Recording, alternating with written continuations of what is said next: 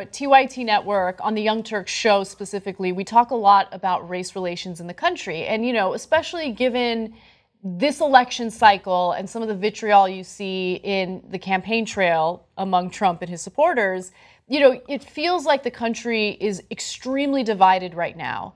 And we're divided when at the same time, all of us are the same in a lot of ways. Like, I, and I'm not talking about we're, we're, treated same by the same by the system or that we have similar experiences. I'm just talking about physically, right? right? This program brings to light the fact that hey, there might be a black woman who's in need of a kidney transplant, and maybe there's a white guy in Mississippi who's a perfect match for that person. Right. And the, and this kidney exchange program makes those connections where right. you have a white person saving a black person's life or a black person saving an Asian person's life. You know, it's just the most incredible thing.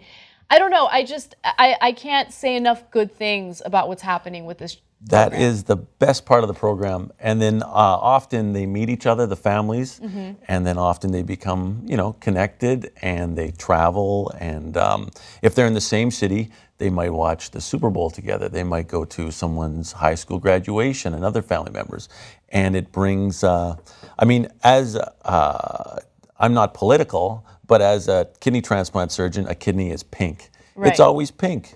And sometimes your best match uh, is not who you would think by skin color.